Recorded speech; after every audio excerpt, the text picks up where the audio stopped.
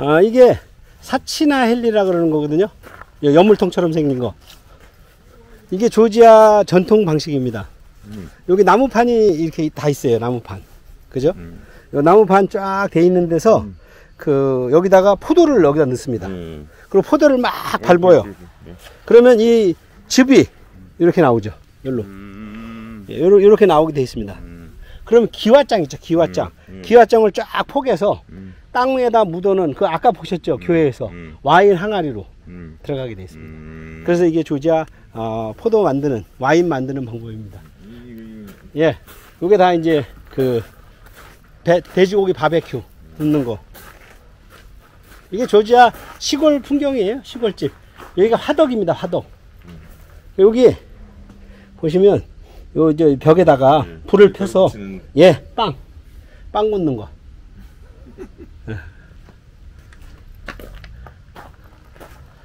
그리고 이제 조개 이제 이제 조지아는 어, 와인을 만들 때 어, 아주 독특합니다 방법이 그래서 잎사귀 줄기 뿌리 가지 그러니까 이런 거를 포도를 수확하면서 이렇게 뜯잖아요 그러니까. 예, 뜯으면 뭐 잎사귀도 들어가고 이렇게 되죠 음. 그걸 그대로 다 넣고 저기다 밟거든요 네, 봤어요. 예. 제 유튜브에서. 그죠 그러면 이제 질겅이가 나왔습니다 찌꺼기 예, 예.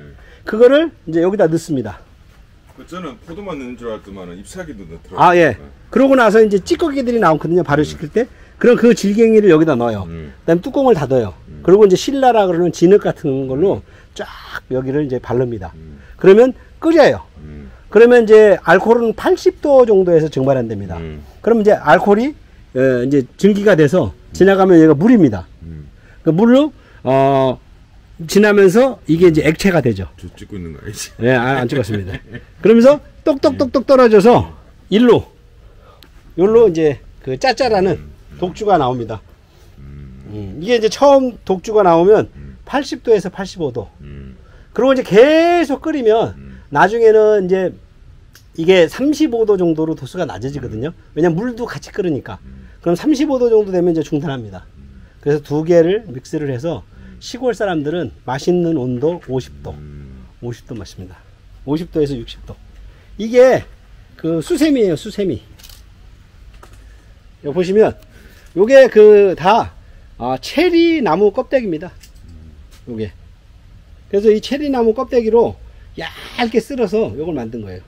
요걸 해서 아까 그 보신 큰 항아리 있죠? 요걸 깨끗이 씻는 거예요.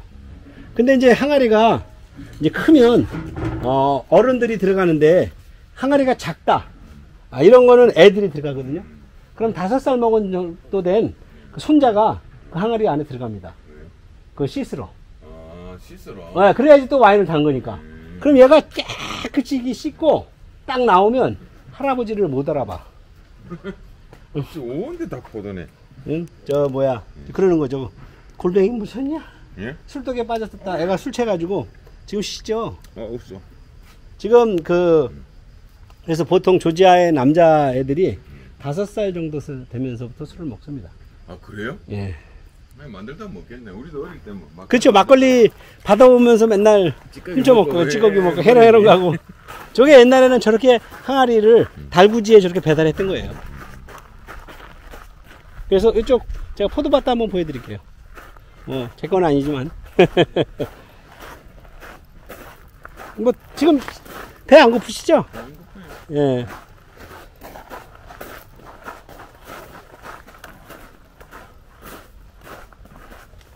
여기는 이제 개인 차량이나 이러지 않고는 오기 힘들어요. 여기 조지아는 포도는 버리는 게 없다 그럽니다. 그래서 포도나무 가지는 가지치기를 하면 그걸로 빵 거 먹고 돼지고기 거 먹고 여기 지금 다 이 가지치기 한 거 모아놓은 거예요. 예. 요걸로 이제 화덕에 요거 숯불 요거를 이제 돼지고기를 구면 저 가지가 얇잖아요. 그래서 금방 숯이 돼요. 그러면서 어 그걸로 구면 어 포도 향이 쫙 나는 거죠. 네. 이게 지금 다 이제 포도밭입니다. 요게 이제 보시면 품종별로 다 있고 이 친구들은 이거 외에도 더 이 큰 포도밭이 또 있어요. 예, 그렇지. 예. 아니 이 평지에 이렇게 한다는 게 그리고 이 나무 수종들을 보세요. 한국은 없지만 이게 다 미루나무잖아요. 그러니까요. 나무도 엄청나게 오래된 거. 예. 그러니까 참 자연이 엄청나게 좋은 거죠. 사실 조지아가. 여기는 이 까베네 소비뇽이에요. 이게. 그러니까 그 프랑스 품종. 그거 갖다 키우는 겁니다. 네, 두 가지 뭐 두 가지인가 세 가지인가 있던데. 뭐. 예. 그래가지고 어, 저, 여기 이 와이너리는 요거를 조지아 방식으로도 만들어요. 와인을. 어, 그래서 샤또 무크라니는 어, 유럽형 방식 많이 만들어요. 그래서 유럽 사람들이 어, 여기 이제 와인 château라는 말이 성, 그 성 이름입니까? 그게 프랑스 성, 성 아니에요? 아 château는 음. 성이라는 뜻이에요. 아, 그 아, château 자체가 성이에요. 예, 예, 성. 그러니까 château 누구 뭐 이렇게 할 때 누구의 성. 그러니까 여기는 샤또 무크라니거든요. 그러니까 무크라니의 성. 아, 그렇구나. 예. 하여튼 프랑스에서도 모임할 때 그죠? 뭐, 뭐, 뭐, 뭐, 뭐, 뭐, 뭐, 어쩌고 저쩌고 되게 많죠? 하여튼 샤또 들어간 게 제일 맛있더라고. 예. 그리고 왜냐면 그게 그 자기가 와- 식약에서 와이너리처럼 이름을 쓰니까 그. 어, 뭐 도토리요? 예, 이게 다 조지아 도틀이 엄청나게 많습니다. 오. 도토리 무게도 되겠네 이거. 예. 그 도토리, 어, 이걸, 이걸 돼지, 뭐 비교가 안 돼. 예, 돼지 줍니다, 돼지. 이야. 이 도토리 다 버리는 거 아니에요, 이 사람들? 어, 돼지. 돼지 준다고요? 예. 이게 돼지, 그래서 이베리코. 이 도토리 먹고 자라는, 여기 도토리 돼지. 뭐 해가지고 가루 해가지고 한국 팔면 되겠네. 그런 걸 제가 잘 못해가지고. 산삼이나 캐러 다녀야 되나? 예? 산삼. 저는 더 힘들어요. 그래서 요 안에만 네. 레스토랑이 몇 개 있고요. 음.